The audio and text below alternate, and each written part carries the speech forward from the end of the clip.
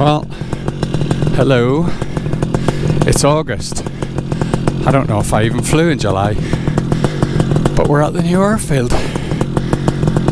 This was long grass, and now it is a viable flying site. Unbelievable. Thanks to Adam, thanks to Simon. Here's Simon just about to land. Ooh, what's he doing landed over there? Don't land there, Simon. Oh my word, talk about hover landing. wow. Look at that for. So it was Adam and Harry, sorry, who uh, Harry found the airfield, found the field, and uh, Adam helped him cut the grass. And we now have one gra- very grateful relocated Rougham Paramotor Club.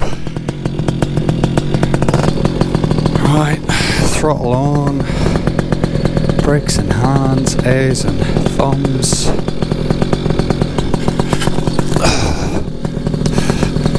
Wings come up nicely. But oh yeah, there we go. Oh yes. Oh lovely. Oh, it's nice to be up. Well, that was too easy. And we got a lovely big landing site. Just there.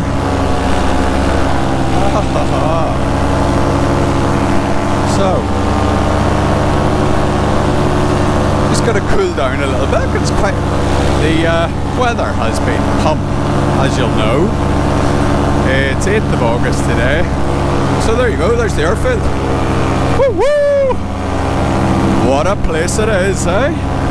That's been cut pretty well, hasn't it? Amazing. Amazing, boys. Oh, bit of a power line running along the edge, but otherwise, very nice little spot. Oh my word! Woo! Yeah, very good. Love it.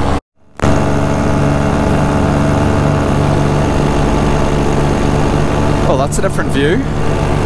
So, over Ipswich now. I can glide clear just over to my right for anyone interested. I'm at 1500 feet. I've got glide clear options should I have an engine out. So, but anyway, uh, the perks of the new airfield, which is just near Stowmarket, just north of Wattisham Airfield, where the Apaches fly. Um, we have access to the coast within 20 minutes. So I've got the River Orwell the Orwell Bridge right in front of me. And I've got the River Deben off to the north, Woodbridge to the north of that. So really easy access to the coast from here, actually, considering it used to be an hour's flight from in conditions. So I was saying earlier about the amount of times that I've been flying in July and I thought I'd hardly flown. I looked at the logbook. I flew four times in July and I don't think I filmed one of them. I just wanted to go and have snatch a quick flight every now and again. Were mostly early mornings. Oh, hello. What are you doing, love? Yes, yes. So my wife had called me at this point just to tell me not to worry, but my sister had just had a serious car crash. But not to worry. Uh, just as I was flying over Ipswich and I'd noticed Ipswich Town were playing. So I was a little bit distracted. Tried to put that out of my head as I was flying and I needed to focus on the flying. But it turned out she was fine.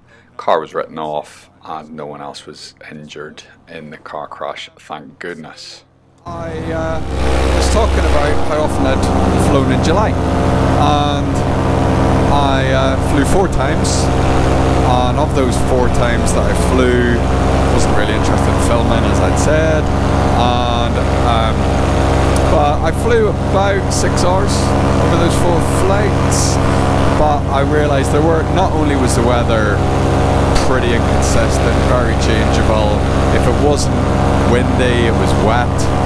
So that really wasn't particularly conducive to uh, good flying conditions. But then the other factor was I got married. So I overlooked that fact. So that wrote off two weekends and much of my free time in July. Uh, because I was quite focused on getting everything ready for that. And it all went brilliantly, thank you very much.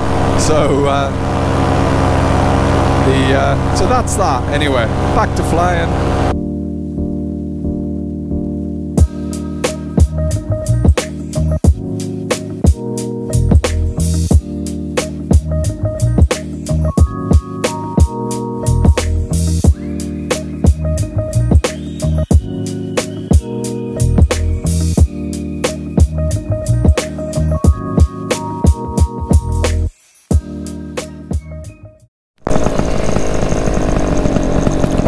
Go. There's the airfield just down there.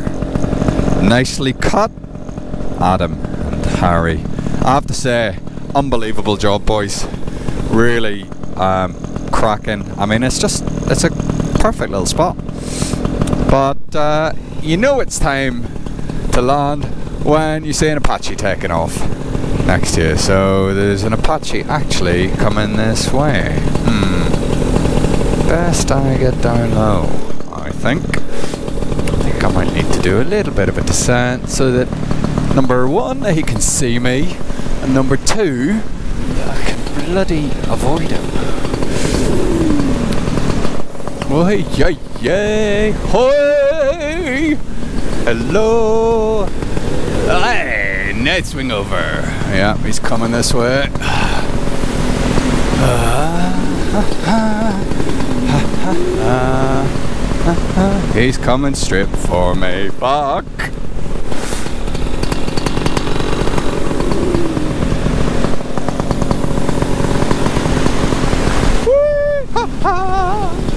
There's nothing you can do but sing when you see an Apache in your rearview mirror.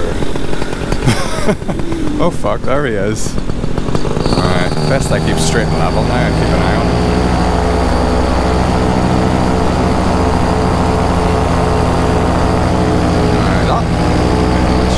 Apache. Anyway, he can see me. He's gone. You won't see him because he's a dot. I mean, he has actually, yeah, it is an Apache and he has gone the other way. And there are no other friendly forces in the airspace at this time. Right! Oh, shit. Oh, that's quite a fast one. Alright, finish off that spin. And come in. Oh, lovely. Love it.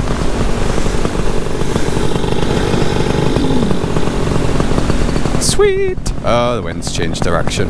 Yep, typical. And I've got to land over the pylons.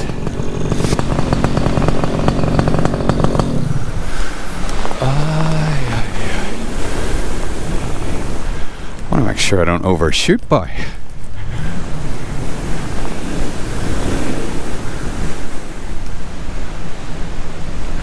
Ah!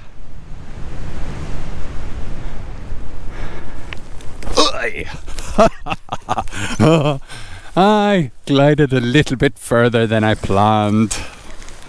Uh, well, nothing like turning the engine off when you first land in a new airfield. What are you doing, Simon? Meanwhile, they're wondering why I'm talking to myself. Hello!